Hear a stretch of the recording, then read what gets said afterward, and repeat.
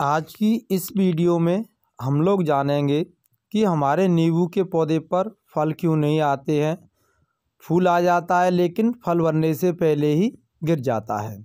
तो आज इस टॉपिक पर हम बात करेंगे कि नींबू के पौधे से ज़्यादा फल कैसे पाएँ। नमस्कार दोस्तों, स्वागत है आप सभी का हमारे आर के गार्डनिंग यूट्यूब चैनल पर। मैं हूँ आपका दोस्त राजेंद्र तो चलिए इस वीडियो को शुरू करते हैं।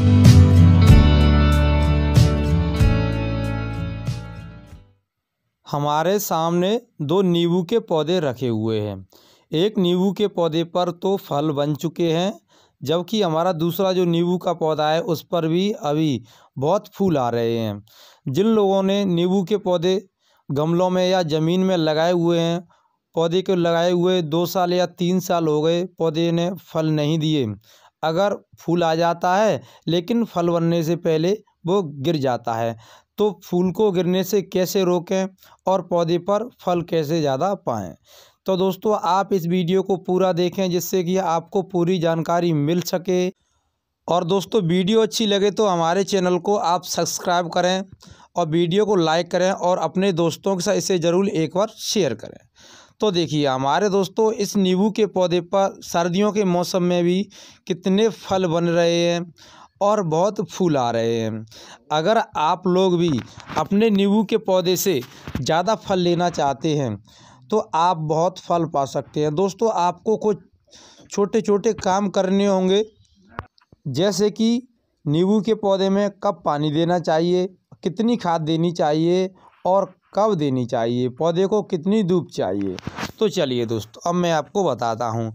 हमारे सामने जो दोनों नींबू के पौधे रखे हुए हैं इन पौधों को लगभग छः से सात घंटे की तो प्रॉपर धूप मिलनी चाहिए सर्दियों के मौसम में। अगर हमारे पौधों पर धूप नहीं आएगी तो हमारे जो नींबू के पौधे पर जितने भी फूल बनेंगे, वो सभी गिर जाएँगे। इसलिए हमारे नींबू के पौधे को धूप की आवश्यकता है। छः से सात घंटे की धूप तो मिलनी चाहिए। इसके अलावा दोस्तों, हमारे नींबू के पौधे को ज़्यादा पानी की आवश्यकता नहीं होती है। ये तो सर्दियों का मौसम है, गर्मियों के मौसम में भी नींबू के पौधे को पानी की कम आवश्यकता होती है। मान लीजिए, आप हफ़्ते में नींबू के पौधे में तीन बार पानी डाल रहे हैं तो आप दो बार नींबू के पौधे में पानी डालें और इससे अधिक पानी अगर आप डालेंगे तो आपका पौधा हेल्दी तो रहेगा, लेकिन उतने फूल और फल आपको नहीं देगा। तो आपको सिर्फ़ दो बार पानी डालना है। और पौधा आपको धूप में रखना है। इसके अलावा आप नींबू के पौधे की पंद्रह दिन में एक बार गुड़ाई ज़रूर करें, क्योंकि दोस्तों हम इन नींबू के पौधों पर फर्टिलाइज़र का प्रयोग करेंगे तो नींबू के पौधे के लिए गुड़ाई भी ज़रूरी है।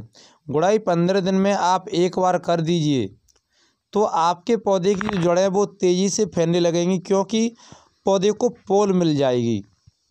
दोस्तों, हमने भी ऐसा ही किया है जब हमारे नींबू के पौधे पर आप फल देख सकते हैं। और दोस्तों, इनकी मिट्टी हमें कैसी रखनी है? जो देखिए, मैं आपको बता दूँ, आप हमारे जो पौधों की मिट्टी देख रहे हैं, दोस्तों, ये भुरभुरी मिट्टी है, इसमें ज़्यादा नमी नहीं है। तो आपको अपने नींबू के पौधे की मिट्टी इस तरीके की रखनी है। अगर आप यह काम कर लेते हैं तो आप फिर नहीं कह पाएँगे कि हमारे नींबू के पौधे पर फूल और फल नहीं आए। तीन से चार दिन हुए हैं और हमने इनकी एक बार गुड़ाई की थी। तो दोस्तों, अब मैं इस पौधे की गुड़ाई नहीं करूँगा। अब मैं आपको बता देता हूँ, इसके लिए जो फर्टिलाइज़र हम यूज़ करते हैं।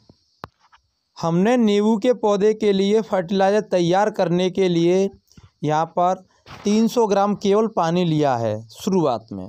हमें केवल 300 ग्राम पानी लेना है। अब इस 300 ग्राम पानी में दोस्तों हम डाल रहे हैं सरसों खली खाद। दोस्तों ये सरसों में से बनाया जाता है, इसमें से ऑयल निकाल लिया जाता है, जो उसकी खली बचती है। दोस्तों उसे सरसों खली बोलते हैं। ये गाय भैंसों के खाने के काम आती है। और दोस्तों अगर आप सिटी से बिलोंग करते हैं तो भी आपको मिल जाएगी। अगर आप गाँव से बिलोंग करते हैं तो भी आपको ये आसानी से मिल जाएगी। तो आपको सरसों खली खाद लेनी है, जो कि प्रॉपर तरीके से बिल्कुल ऑर्गेनिक होती है। हमने इस 300 ग्राम पानी में केवल 50 ग्राम सरसों खली खाद डाल दिया है और डाल देने के बाद में इसे हम एक से दो मिनट ऐसे ही घोलेंगे और उसके बाद में लगभग चौबीस घंटे के लिए इसे हम रख देते हैं, जिससे हमारा मस्टर्ड केक फर्टिलाइज़र बन के तैयार हो जाए और इसका प्रयोग हम अपने पौधों में कर सकें। तो मिलते हैं आपसे चौबीस घंटे के बाद। हमारे इस फर्टिलाइज़र को चौबीस घंटे हो चुके हैं और चौबीस घंटे बाद हमारा यह मस्टर्ड केक फर्टिलाइज़र अब पूरी तरह से बन के तैयार हो चुका है। अब इसका इस्तेमाल हम अपने सभी पौधों में कर सकते हैं, क्योंकि सर्दियों के मौसम में मस्टर्ड केक फर्टिलाइज़र हमारे पौधों के लिए अमृत से कम नहीं है। तो दोस्तों, इसे हमने अच्छी तरीके से एक बार हिला लिया है। अब इसे हम सीधा नहीं डालेंगे पौधे में, क्योंकि इसके अलावा हम और पानी लेंगे। एक लीटर देखिए, यहाँ पर हमने और पानी लिया हुआ है। अब एक लीटर पानी में इसको हम डाइल्यूट कर लेंगे और उसके बाद हम अपने नींबू के पौधे में डाल देंगे। आप इसका प्रयोग महीने में तीन बार कर दीजिए। आपके नींबू के पौधे में फल और फूल दोनों ही आने लगेंगे। आपको मैंने कुछ बुनियादी टिप्सें बताई हैं नींबू के पौधे के लिए। अगर आप इनको कर लेते हैं तो आप अपने नींबू के पौधे से बहुत ज़्यादा फल ले पाएँगे। तो चलिए दोस्तों, हम इन पौधों में डाले देते हैं। मैंने एक पौधे में यह फर्टिलाइज़र डाल दिया है, अब दूसरे पौधे में भी डाले देता हूँ और इनको रख दूँगा मैं धूप में। तो दोस्तों, आपको हमारी आज की वीडियो यह कैसी लगी? आप हमें कमेंट बॉक्स में कमेंट करके बताइएगा ज़रूर।